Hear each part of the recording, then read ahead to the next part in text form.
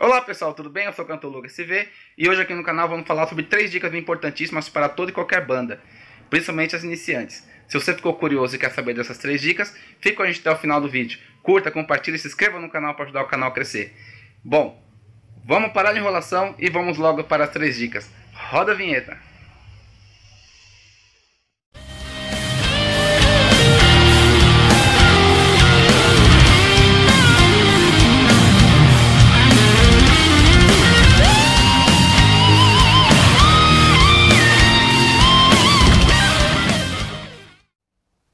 Bom pessoal, antes de começar o vídeo, eu quero pedir desculpas, tá bom? De coração, pela qualidade da imagem, porque eu tô filmando aqui com o celular, né?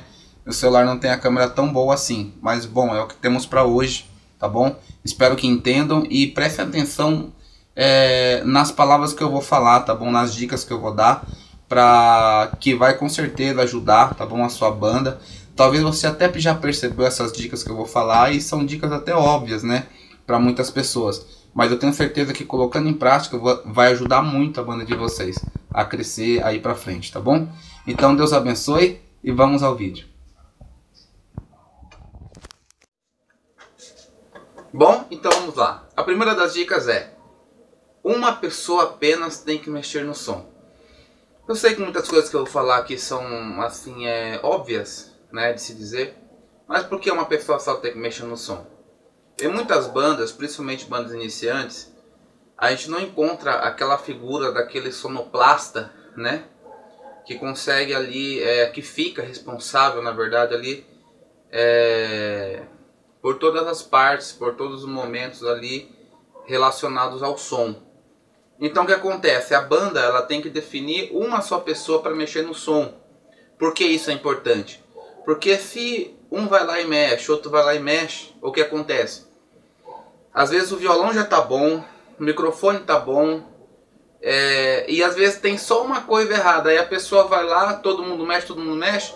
Chega alguém lá, mexe na equalização do violão que tava bom, aí estraga o violão.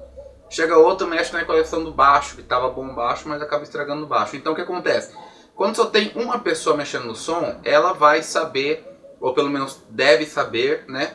Aonde está ligado cada coisa ali no canal. Aonde está ligado o violão, onde está ligado o baixo, onde está ligado o microfone. E desse jeito que acontece, é, as coisas fluem melhor quando tem um só mexendo no som. Logicamente que os músicos podem falar, poxa, meu violão não tá bom. Poxa, é, é, a pessoa que está falando pode falar, viu, eu não estou me ouvindo, tá muito grave, tá muito né, aguda a minha voz. Bom, isso é, isso é uma das dicas que vamos chegar daqui a pouco. Mas primeira dica, só um, só uma pessoa tem que mexer no som. Ok? Bom, segunda dica, chegar mais cedo para arrumar o som, para organizar tudo, para passar o som. Isso é uma dica importantíssima, que também parece ser muito óbvia, mas é muito importante. Por quê? Porque se você chega em cima da hora com a sua banda, vai ficar aquela bagunça. Coloca caixa de um lado, caixa de outro, e deixa o violão do jeito, deixa o baixo de outro, deixa o microfone do jeito e talvez a equalização fique ruim.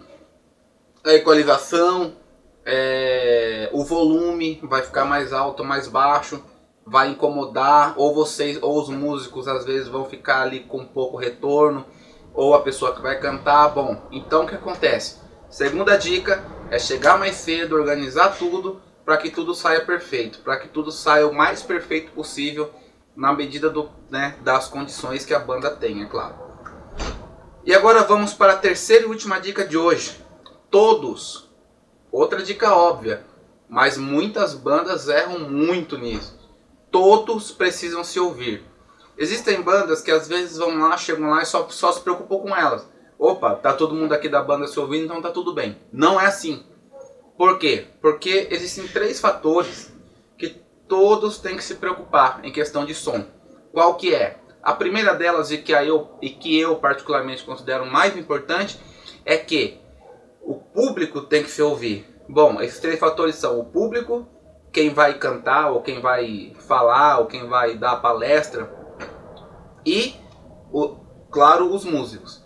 Então, assim, é, se o público não se ouvir, pode ser a melhor banda de todas Se o público não conseguir entender o que está sendo feito ali, o que a pessoa que está cantando, né, a, a letra, né, daquela canção, a letra daquele louvor, ou até mesmo não entender o que o preletor está falando, olha, vai ficar uma coisa chata. Pode ser os melhores músicos do mundo. As pessoas não, não vão gostar, entendeu? Elas vão ficar irritadas, ou porque o som está muito alto, está muito baixo, ou a equalização está ruim, e etc. Vai ser difícil, vai ser poucos que vão gostar, na verdade, né? Então o que acontece?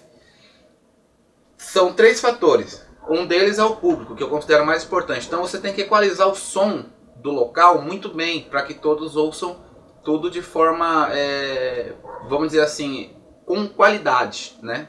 Todos ouçam com qualidade. Bom, o, o segundo fator da terceira dica é quem vai cantar ou quem vai é, ministrar. É por isso que é importante aí que entra os monitores de retorno. Por quê?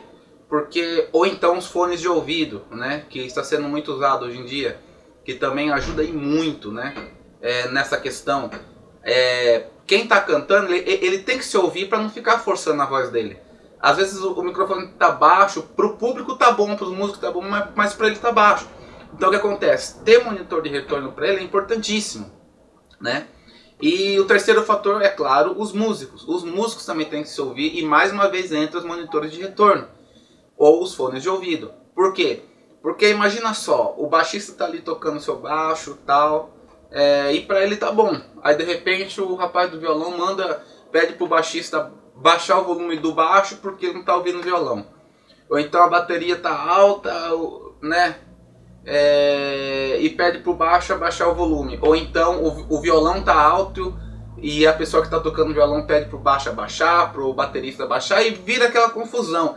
Muitas bandas até terminam por causa disso, por causa de falta de união. União também seria uma banda, é, uma dica muito importante, melhor, é, é, melhor dizendo que eu poderia citar aqui. Mas vamos deixar para uma próxima ocasião, porque a gente sabe que onde não tem união não, não vai para frente, não adianta. Então o que acontece? Ali é o momento que todos têm que se ouvir também. Então por isso que é importante monitores de retorno e fones de ouvido. Quando o sonoplasta ou a pessoa da própria banda que está ali designada mexendo no som consegue adequar esses três fatores, tudo fica uma maravilha. Aí vocês podem dar o melhor de si aí, é, o público vai gostar, quem vai cantar vai gostar. Aí, é claro, só vai depender de questão do esforço de vocês em tocar, em, é, em se harmonizar. É claro que o som também não é tudo, mas é um fator muito importante nisso, tá bom?